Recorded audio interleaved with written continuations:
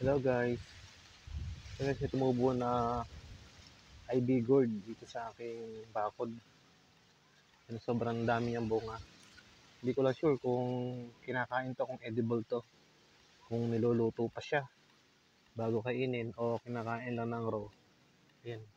Ang ganda ng bunga niya. Para siyang maliit na pipino. Pitik din ng bunga to. Ang dami niyang bunga, tabi-tabi. Ito lang po siya tumubo sa garden ko.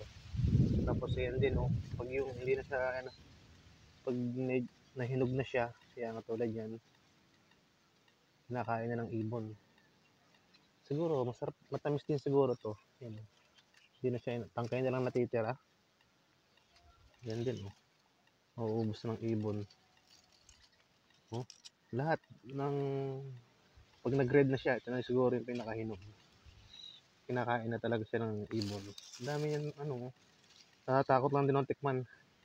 Kasi baka, siyempre, alam niyo na, hindi naman natin masyadong kilala. Pero sina nakasubok po na to, na nakakain na. Ang dami niyang bunga. Dito lang po siya sa bakod. Yan po yung aking gabi. Mataniman ko. Dito lang po siya tumubo sa bakod ko. Yan guys, oh, ang daming bunga. Sa yung bulaklak niya, oh. Ang ganda rin, puting-puti. Sino na po sa inyo ang nakakain na? At ano po ang lasa? Yan guys, oh.